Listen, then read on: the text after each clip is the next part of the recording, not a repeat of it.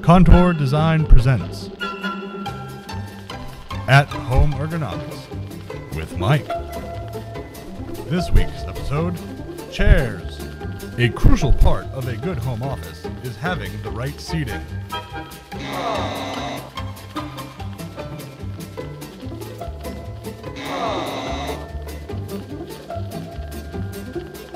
This video will show you how to get the most out of your regular old office chair.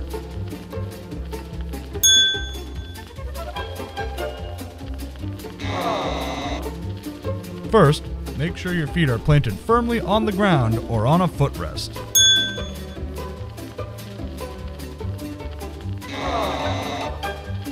Next, make sure your armrests are even with your desk and your elbows are at a 90 degree angle.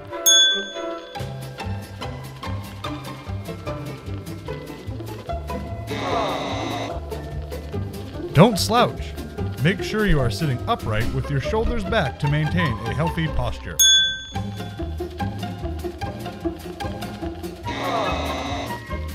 And finally, don't jam your legs. Make sure there are two to three finger widths between your seat and the back of your leg.